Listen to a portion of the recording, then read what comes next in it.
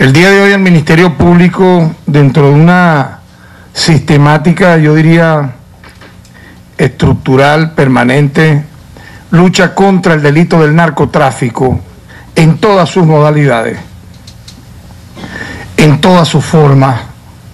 Y cuando digo eso quiero destacar que en el pasado hemos mostrado casos, por ejemplo, de los llamados narcomulas, es decir, el uso de personas con complicidad a veces en aeropuertos para el transporte de drogas.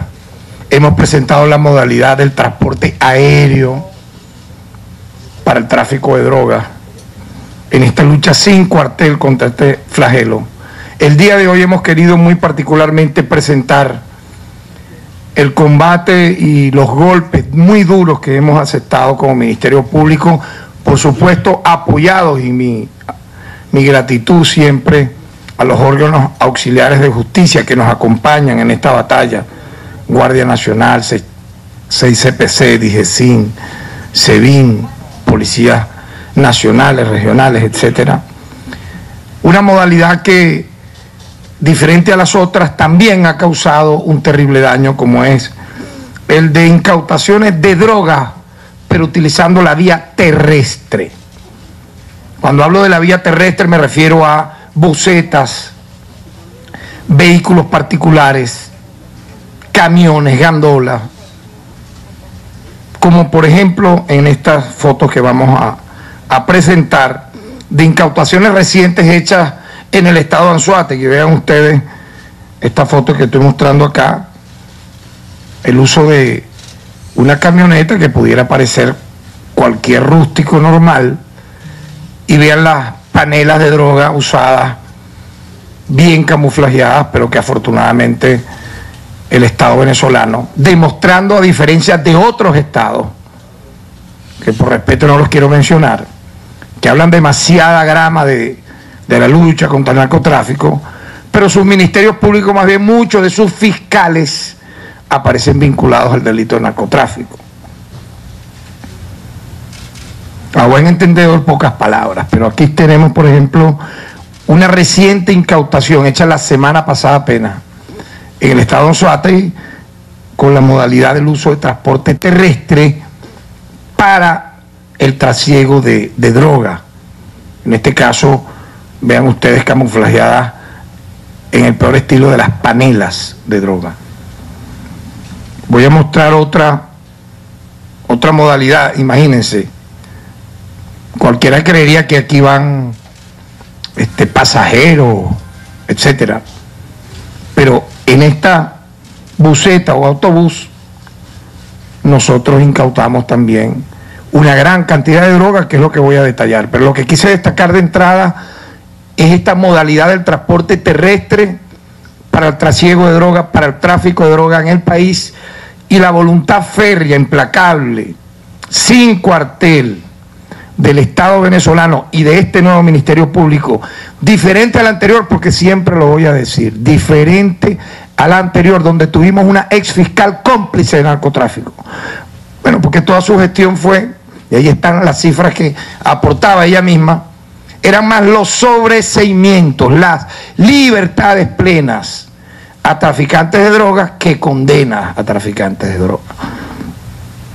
Por lo tanto, pues, yo quiero destacar ya concretamente que estamos haciendo una presentación de los últimos 15 meses, donde, vean esto, hemos capturado como Ministerio Público, apoyado con los órganos auxiliares de justicia, nada más y nada menos que 696 vehículos transportando droga. Repito, 696 vehículos transportando droga durante estos 15 meses de gestión que tenemos nosotros como Ministerio Público. Repito, camionetas, rústicos, busetas, eh, autobuses, todos estos vehículos están a la orden con sus placas, con su toda su carrocería, etcétera, de la ONA, es decir, del Estado venezolano. De estos vehículos yo quiero destacar que 346 corresponden a vehículos de uso particular, llama mucho la atención. 346, es decir, casi la mitad, corresponden a vehículos de uso particular. 299 son vehículos tipo moto. 107 son vehículos de carga. 10 vehículos de transporte tipo buseta y 4 corresponden a tipo maquinaria. Como dije, todos han sido puestos a la orden de la ONA. ¿Cuál es el modo operandi de este tipo de flagelo? Repito, totalmente repudiable, repugnante, que tiene el compromiso del Estado venezolano, de todo el Estado venezolano, del comandante en jefe, presidente de la República, Nicolás Maduro, hasta el más humilde de nuestros policías o de nuestros fiscales y los jefes de poderes públicos nacionales, de perseguirlos sin cuartel. ¿Por qué? Bueno, porque daña a la juventud venezolana, daña a la familia venezolana, es un, se utiliza para blanqueo de capitales, para lavado de dinero. Y esta droga, por ejemplo, en el caso que estoy mencionando, oculta en este tipo de compartimientos, en vehículos secretos, ¿verdad? Es camuflajeada con tipo de mercancía legal o escondida en doble fondo. Vean, vean el doble, la, cómo han ido tecnificando los narcotraficantes aquí, pero cómo también nosotros hemos llegado hasta allá, el modus operandi. O en paredes de buceta, incluso en bolsos trasladados en los compartimientos de equipaje de, de autobuses y bucetas. La mayoría de estas incautaciones de droga han sido realizadas, en este caso, por la Guardia Nacional Bolivariana, vaya en este caso nuestro reconocimiento a la Guardia Nacional Bolivariana, en puntos de control, otros se han dado por labores de inteligencia entre la Policía Nacional Bolivariana y el 6CPC bajo la tutela del Ministerio Público, bajo la supervisión del Ministerio Público como titular de la acción penal. Quiero colocar unos ejemplos muy importantes, recientes. 8 de noviembre fueron descubiertos una camioneta marca Ford que, que se trasladaba de Pariaguán en el estado de Anzuategui 839 panelas de marihuana, equivalente a nada más y nada menos de 468 kilogramos de droga. Es la foto que corresponde a esta que voy a nuevamente presentar. Esta. Esta que estoy aquí mostrando corresponde a la camioneta Ford, ¿verdad? Que transitaba por Pariaguán en el estado de y lo que ustedes observan ahí eran nada más y nada menos que 468 kilos de marihuana colocada en 839 panelas. Pero aparte de eso, 62 panelas de cocaína, equivalente a 69 kilos. Para un gran total, vean, en esta camioneta, por eso queremos ejemplificar las cosas con datos claros.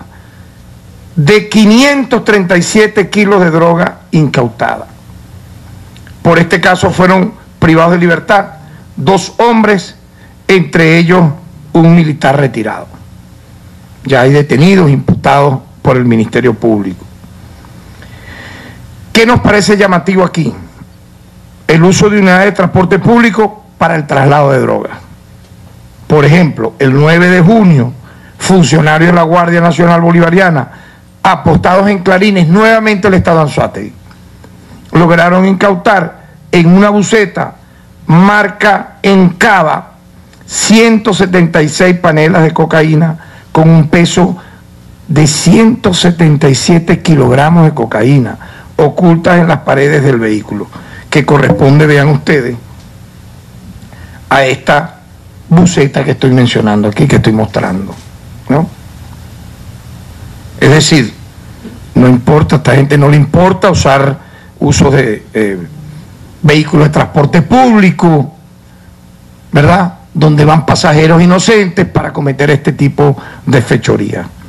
A raíz de esta incautación, tras labores de investigación, se logró capturar al día siguiente a otras dos personas, a otras dos bucetas a otras dos bucetas, con droga en la ciudad de Cumaná, en las que se encontraban 324 panelas con un peso de 323 kilogramos.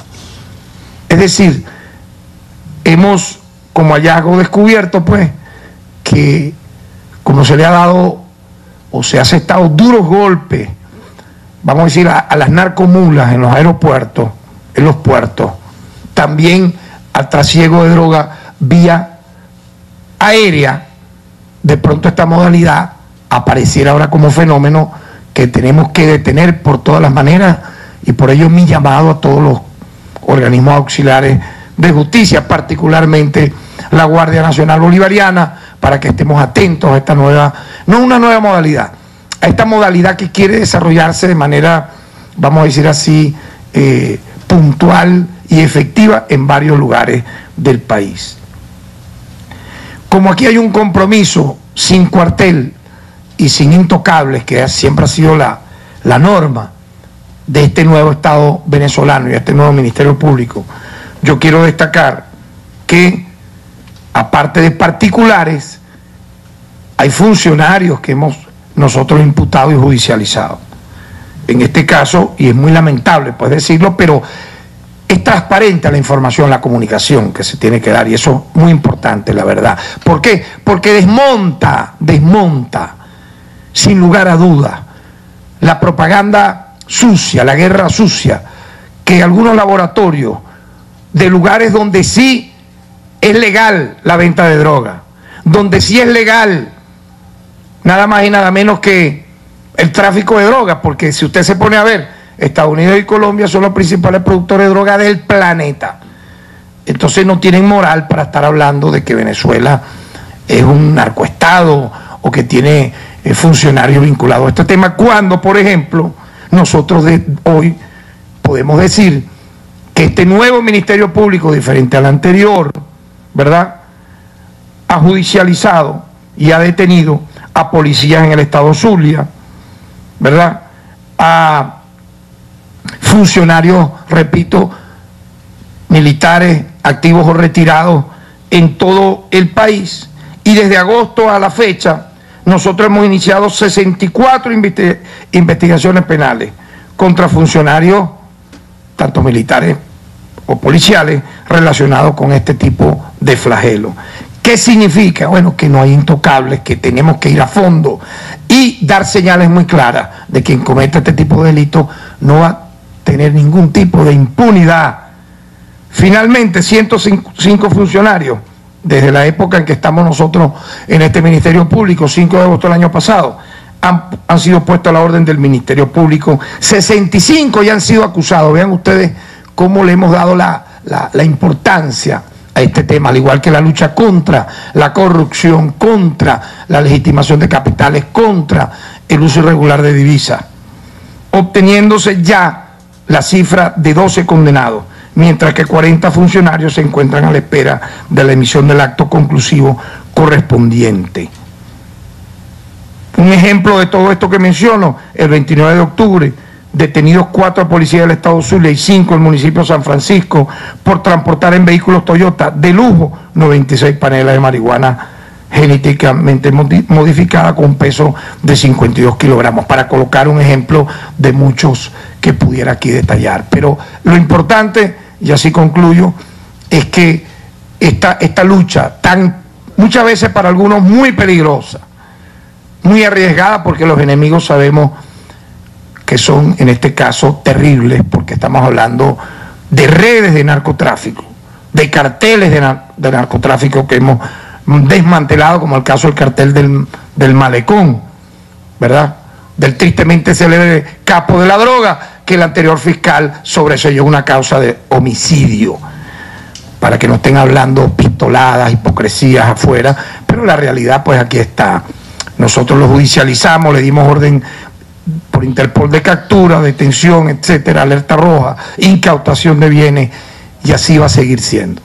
Así que con estas palabras, pues culmino esta breve rueda de prensa demostrando que nuestro Estado venezolano en conjunto no tendrá piedad ni misericordia contra este flagelo que tanto daño le ha hecho a la familia venezolana y para ellos la máxima pena sin ningún tipo de beneficio. Muchas gracias.